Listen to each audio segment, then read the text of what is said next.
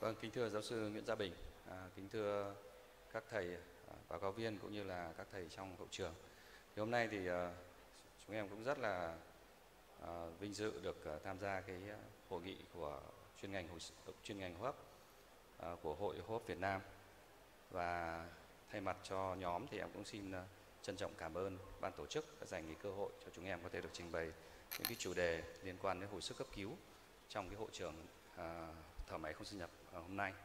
Thì cái chủ đề mà ờ, chúng em được ờ, ban tổ chức phân công thì nó có hơi hơi khác nhau một tí liên quan đến thở máy không xâm nhập trong điều trị à, bệnh phổi tắc nghẽn mãn tính.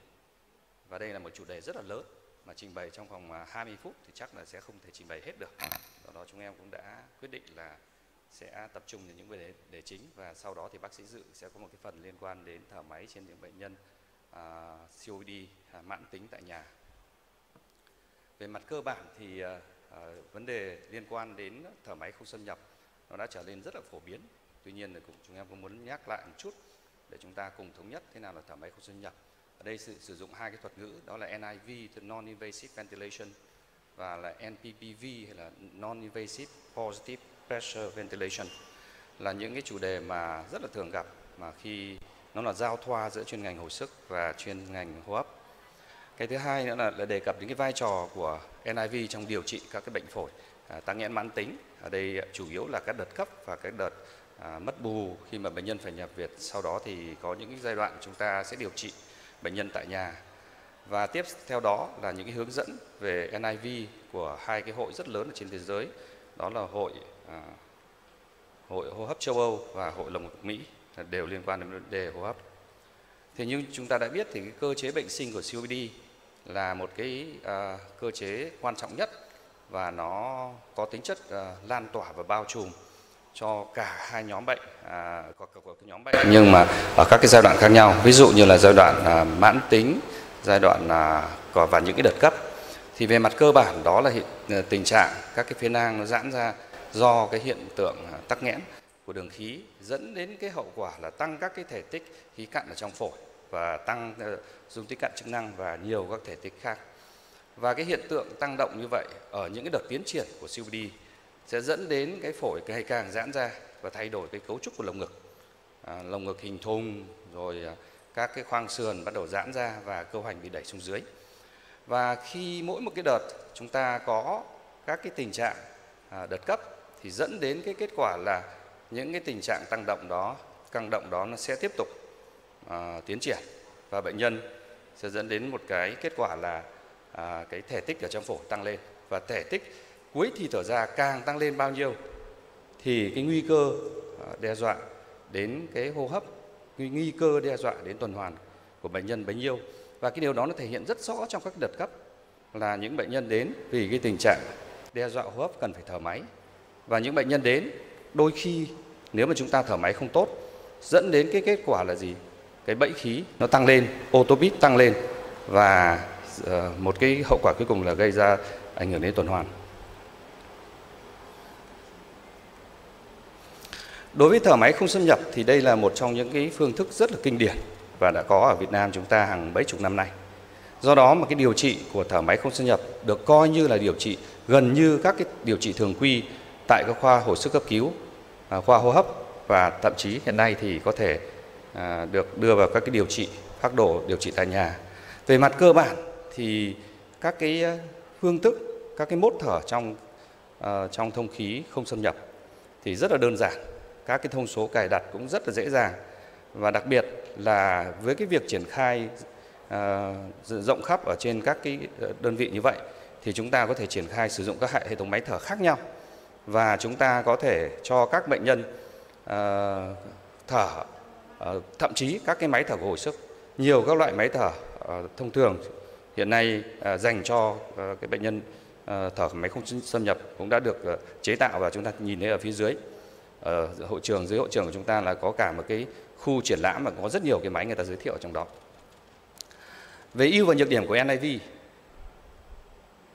ưu và nhược điểm của NIV thì chúng ta biết được ưu điểm rất là nhiều nhiều ưu điểm ví dụ như là, là nó sẽ đảm bảo được cái uh, đường thở của bệnh nhân bệnh bệnh nhân ở hiện nay thì chúng ta biết là nếu đặt ống nội khí quản thì cái nguy cơ ở bệnh nhân của chúng ta sẽ nhiễm trùng bệnh viện và các cái biến chứng sau đó, đặc biệt trên những bệnh nhân COPD thì cái biến chứng mà liên quan đến nhiễm trùng bệnh viện sẽ làm cho bệnh nhân liên tục phải thở máy và thậm chí có những bệnh nhân là phụ thuộc máy thở và không bao giờ cai được máy. Cái thứ hai nữa là đối với vấn đề hô hấp thì cái thở máy không xâm nhập nó cải thiện cái tình trạng hô hấp rất là nhanh chóng. Và chúng ta có thể là gì? Khi có chỉ định cái là chúng ta có thể thực hiện được luôn. Cái thứ ba nữa là bệnh nhân có thể được phép ăn uống rồi giao tiếp. Đây là một trong những cái lợi thế rất là tốt. Mà hiện nay thì với cái việc mà thở máy thì những cái giao tiếp của người, bệnh nhân đối với nhân viên y tế là vô cùng quan trọng để đảm bảo cái tâm lý của người bệnh. Và người ta cũng nhấn mạnh cái vấn đề dễ áp dụng. Chúng ta thể áp dụng ở tất cả các chuyên khoa. Từ chuyên khoa cấp cứu, chuyên khoa hồi sức, rồi đến các cái chuyên khoa hô hấp và các bệnh phòng khác. Bệnh nhân dễ hợp tác, dễ chịu hơn. Nó giảm nhu cầu về an thần và đặc biệt đối với thở thở máy không xâm nhập một trong những tiêu chí để đánh giá cái hiệu quả. Đó là gì? Nó tránh cho bệnh nhân được đặt nội phải đặt nội quản. Và nó tránh cho bệnh nhân cái nguy cơ tử vong liên quan đến thở máy. Về nhược điểm thì có một số cái nhược điểm nhỏ nhỏ thôi. Cái này chúng ta có thể cải thiện được. Ví dụ như là bệnh nhân khó chịu ở cái vùng mà tiếp xúc với tiếp xúc với mặt nạ rồi có thể là mất thời gian. Cái mất thời gian là một vấn đề mà được ờ, rất nhiều các cái báo cáo trên thế giới nói về câu chuyện là uh, bác sĩ mình phải dành nhiều thời gian hơn điều dưỡng mình phải dành nhiều thời gian hơn cho bệnh nhân. Thì cái điều này là là đối với thế giới thì thời gian là vàng. Do đó thì có thể người ta tính toán cái câu chuyện và đưa vào cái cấu thành về giá. Nhưng đối với chúng ta thì thời gian đôi khi là à, chúng ta cũng có à, cũng có nhiều thời gian hơn đối với một số trung tâm vấn đề sửa chữa rối loạn các cái hô hấp thì nó chậm hơn. Bởi vì nếu chúng ta thường muốn kiểm soát tốt bệnh nhân thì chúng ta phải cho bệnh nhân vào thở máy xâm nhập. Chúng ta kiểm soát cái đầu ra đầu vào rất là tốt. Và nó không đảm bảo được đường thở. Đôi khi chúng ta cần hút đờm làm thông thoáng đường thở nó khó. Và đặc biệt là những cái chuyện lét do tì đè và kích thích mắt, bệnh nhân là những cái vấn đề chính. Về chỉ định thì đây là các cái chỉ định chính của thở NIV tức là bệnh nhân thường là ờ, hợp tác là quan trọng nhất để chúng ta đảm bảo cái sự thành công về bệnh nhân có cái mức độ khó thở từ mức độ vừa đến mức độ nặng tần số thở tăng lên trên 24 lần trên phút có sử dụng các cơ hấp phụ và có tình tình trạng toàn hô hấp ví dụ như pH từ 7,1 cho 7,35 là cái chỉ định rất là tốt và bệnh nhân có thể thiếu oxy ở trong trường hợp này là thường PHF dưới 200. Về lợi ích của hai cái mốt thở chính sử dụng à, chúng ta sử dụng là CPAP và PSV thì lợi ích của CPAP là gì ạ? Nó làm giảm cái công thở, đặc biệt là để bệnh nhân phải truy cơ máy thở hoặc là truy cơ một nhịp thở, thì do hậu quả của otopip hay pip nội sinh. Nó có giúp cho quá trình ngăn ngừa cái hiện tượng xẹp đường thở, thì thở ra trên bệnh nhân COPD đây là cơ chế bệnh sinh, rất là quan trọng nó cải thiện độ oxy, nó giảm được tiền cánh và giảm được sân phổi liên quan đến các cái chỉ định khác về lợi ích của PSV là nó giảm công hô hấp, nó cải thiện được cái thông khí phế nang, nó giảm được cái sự bất tương xứng giữa thông khí và tưới máu và cải thiện được quá trình thải bỏ CO2 và cải thiện oxy hóa máu. Về lịch sử thì chúng ta biết là cái ca đầu tiên được thở máy là do một giáo sư rất là tên tuổi về về hô hấp đó là ờ, uh, Mebury đã tiến hành cách đây khoảng 5 năm 60 năm trước đây.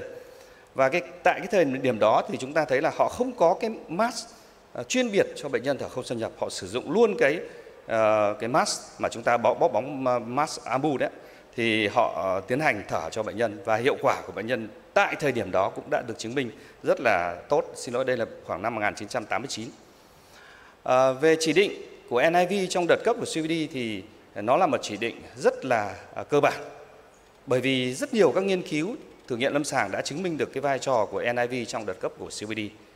Và đây là một trong cái nghiên cứu phân tích gộp của 12 nghiên cứu đánh giá về tỷ lệ tử vong, 17 nghiên cứu đánh giá về cái khả năng giảm được cái tỷ lệ đặt nội quản à, đăng trên cốc răng, Thì người ta thấy rằng là cái trị số NNT tức là cái số lượng cần phải thở máy là 12 người thì có thể cứu được một bệnh nhân. Như vậy cái OA của nó là 0,54 và phải thở máy 5 người thì có thể tránh cho một bệnh nhân đặt nội khí quản. Và chính vì những cái nghiên cứu như thế này cho chúng ta thấy rằng nếu như một bệnh nhân COPD đợt cấp mà vào với chúng ta mà chúng ta không cho thở máy không xâm nhập là thực sự là chúng ta có tội, có lỗi với bệnh nhân. Và hiện nay thì cái việc này nó sử dụng một cách rất là phổ biến và ờ, ở các cái chuyên khoa rồi. Đối với NIV tại nhà cho bệnh nhân thì cũng được chứng minh là giảm được tỷ lệ tử vong. Đây là một cái đích rất là quan trọng khi mà chúng ta cho thở máy bệnh nhân tại nhà thì uh, tí bác sĩ Dư sẽ trình bày cái chủ đề này kỹ hơn. Về các hướng dẫn thì uh, đối với những uh, chỉ định của NIV trong đợt cấp trong đợt cấp thì chúng ta có một cái hướng dẫn của hai cái hội rất là lớn đó là hội hô hấp của châu Âu và hội lồng ngực Mỹ năm 2017 nói về cái chỉ định của NIV cho những trường hợp suy hấp cấp trong đó có COPD. Thì đối với COPD thì à, cái câu hỏi đặt ra đầu tiên người ta nêu lên là gì ạ? Tức là NIV có được chỉ định cho bệnh nhân suy hấp để tránh để để để mà tránh để dự phòng đấy cái tình trạng toan hô hấp hay không? Thì câu trả lời là không. Như vậy khi mà bệnh nhân của chúng ta có tình trạng đợt cấp nhưng mà không bị nhiễm toan thì cái việc chỉ định COPD ở trong trường hợp này theo khuyến cáo là chưa cần thiết. Cái câu hỏi thứ hai là nếu như cái đợt cấp đã hình thành rõ ràng rồi thì chỉ định của à, như thế nào đúng không ạ? Thì đây là chúng ta sẽ nhìn thấy là à, thường là chỉ định khi có đợt cấp mà thay đổi pH máu. Xin lỗi các bạn có trục trặc về mặt kỹ thuật. Nó cứ chạy liên tục mặc dù không bấm. À, thì PEPAP là cái mút thường sử dụng nhiều nhất được chỉ định cho những trường hợp bệnh nhân có cái pH dưới 7,35 và ở cái mức độ là khuyến cáo rất cao và cấp độ bằng chứng rất là cao vì rất nhiều các thử nghiệm à, đối chứng ngẫu nhiên và mù đôi đã được chứng minh điều này. Và nên thử PEPAP cho những bệnh nhân mà có nguy cơ đặt nội quản tức là chúng ta dự dự đoán là họ có thể đặt nội quản nhưng mà chúng ta à, chúng ta thay vì đặt nội quản thì chúng ta có thể cho bệnh nhân thở không sinh nhập đây là một trong những hướng dẫn rất là quan trọng mà chúng ta thử cho bệnh nhân. Tìm cái cơ hội không phải đặt ống cho bệnh nhân. Thì đây cũng được đưa vào là khuyến cáo mức độ cao và cấp độ bằng chứng thì thấp hơn một chút đó là cấp độ bằng chứng trung bình thôi. NAV trong đợt cấp của COPD thì cân nhắc khi mà nó trong khoảng nếu CO2 ở trên à, trên tự động chạy trên ờ, uh, PCO2 là trên 45 mm thủy ngân và tần số thở từ trên 20 lần trên phút là người đã tính cái chuyện này rồi. Người ta tính về chuyện này rồi. Và trong trường hợp PEPAP đó thì được thường là sử dụng PEPAP là được lựa chọn. Và kể cả trong những trường hợp chúng ta phải cân nhắc những bệnh nhân xấu hơn chẳng hạn. Ví dụ như là pH là bao nhiêu thì cái việc chỉ định là an toàn thì hiện nay là chúng ta không có con số pH là bao nhiêu. À, chỉ biết là dưới 7,75 là có chỉ định chứ còn thấp hơn bao nhiêu thì không không biết. Tuy nhiên thì các nghiên cứu đều cho chúng ta thấy là nếu pH mà càng thấp thì cái nguy cơ thất bại càng cao. Đương nhiên là như vậy, đúng không ạ? pH càng thấp thì chứng tỏ cái tình trạng bệnh nhân rất nặng. Do đó chúng ta phải cân nhắc khi mà chúng ta đã thở thì chúng ta phải theo dõi rất là sát. Về các cái thông số thì cái mức cài đặt cũng được đưa ra khuyến cáo là mức độ bằng chứng A tức là chúng ta đặt khởi điểm là thấp nhất là 10 đối với IPAP và ờ, thấp nhất là 5 đối với IPAP và chúng ta tăng chúng ta sẽ đảm bảo sao cho cái mức đó? Nó đạt được cái VT khoảng từ 5 đến 70 lít trên kg cân nặng lý tưởng và chúng ta điều chỉnh cái mức IPAP và IPAP để đạt được cái VT cũng như là điều chỉnh mức IPAP để đạt được cái SPO2 là từ 90 đến 92. Như vậy thì các cái cấp độ bằng chứng rất, rất là rõ ràng. Và đặc biệt là người ta cũng khuyên là nếu mà chúng ta thở máy trong đợt cấp thì vì đôi khi có những bệnh nhân người ta khó chịu với cái áp lực cao chẳng hạn thì không nên để thấp quá dưới 8 trên 4 tức là IPAP là dưới 8 à, từ 8 trở xuống và Ờ, à, EPAP là 4 và chúng ta điều chỉnh như nào đúng không ạ? Chúng ta tăng dần mỗi lần 22 cm nước để đảm bảo được uh, thải được CO2. Nếu CO2 vẫn còn cao, đối với trường hợp uh, trong trường hợp đó thì chúng ta sử dụng IPAP là chính. Và chúng ta tăng cái cả IPAP và IPAP mỗi lần 2 cm nước nếu như bệnh nhân thiếu oxy tức là chúng ta tăng cái ngưỡng cái mức độ mà hỗ trợ áp lực cho bệnh nhân. À, đặc biệt là IPAP. Và tối đa có thể đạt được đối với IPAP à, ở đây là 20 đến 25 và EPAP là từ 10 đến 15 cm nước. Tức là mức độ là khống chế là chúng ta không để nó cao quá bởi vì cái nguy cơ khí nó vào trong dạ dày và gây ra có thể sặc vào phổi. Và nhịp thở thì duy trì khoảng từ 12 đến 16 lần một phút. Các cái khuyến cáo khác liên quan đến thở máy kéo dài thì bác sĩ Dư sẽ trình bày ở đoạn sau. Do tính chất của thời gian thì chúng tôi sẽ đi rất là nhanh vì bác sĩ Dư đã có một bài trình bày rất là là là đầy đủ về câu chuyện này rồi. Thì đối với những cái ờ, bệnh nhân thở máy theo ừ, ừ, về thời gian ấy, thì rõ ràng là à, tôi chỉ lưu ý có một cái à, khuyến cáo của gần đây nhất năm 2020 của Hội Lồng ngực Mỹ.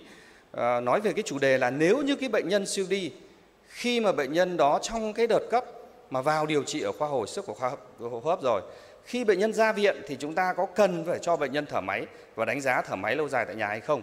Thì cái đối với cái hội hô hấp của châu Âu thì họ cho rằng là có thể chúng ta sẽ cho bệnh nhân thở máy à, ngay nếu như CO2 của bệnh nhân ấy tăng khi mà thời điểm ra viện.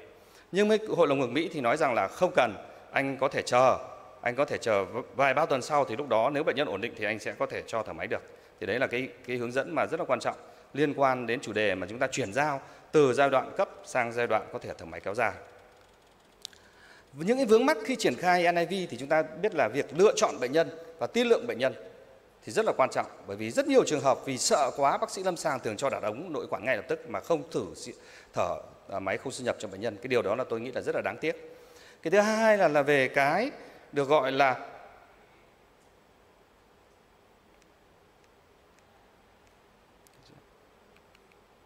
xin lỗi các bạn chủ hệ thống máy. Hệ thống máy là không đồng bộ, dẫn đến cái kết quả là vận hành đôi khi rất là khó khăn từ khoa này sang khoa kia. Hệ thống mask cũng là vấn đề bởi vì rất nhiều trường hợp chúng ta không có mask chúng ta muốn cái sự tốt đẹp, muốn cái sự dễ chịu cho bệnh nhân, nhưng mask thì bảo hiểm không chi trả và đôi khi mua rất khó khăn và cuối cùng là bảo hiểm bảo hiểm là một cái vấn đề nan giải khi chúng ta áp dụng cái hệ thống thở NIV Vậy để kết luận thì chúng tôi có mấy kết luận sau thì NIV thực sự là có hiệu quả trong bệnh nhân, điều trị bệnh nhân COPD kể cả đợt cấp và cái điều trị kéo dài. Và hiệu quả của nó được, đã được rất nhiều nghiên cứu đã chứng minh rồi. Và các khuyến cáo thì đã đầy đủ rồi. Mà chúng ta phải còn lựa chọn thôi. Chúng ta đôi khi phải có cái sự lựa chọn khôn khéo và phải thử cho bệnh nhân, phải hy sinh một chút về bệnh nhân đó, phải theo dõi đánh giá tùy theo tình trạng bệnh nhân. Và xin ờ, cảm ơn sự chú ý theo dõi của tất cả quý vị.